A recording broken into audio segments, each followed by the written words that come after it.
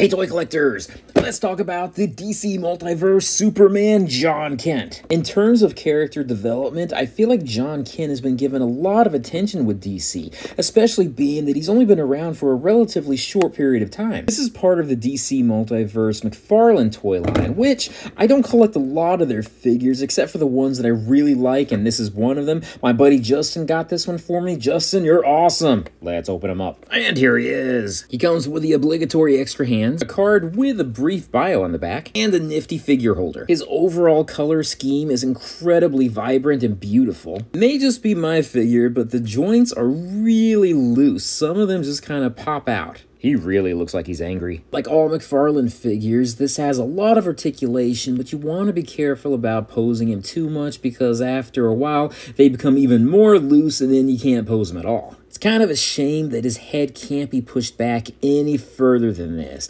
You can't really pose him as if he's about to take off. The S symbol is molded onto his chest, and I love how they did it. See, if you could push his head back, this would look like a much better pose, but we don't have that ability. For comparison purposes, I have Conner Kent Superboy, and I have Daddy Superman in the back. I love this Daddy Superman. He looks so cool.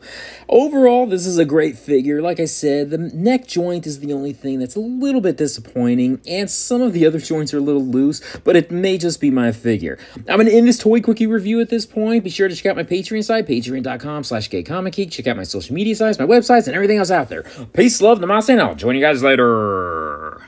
Peace!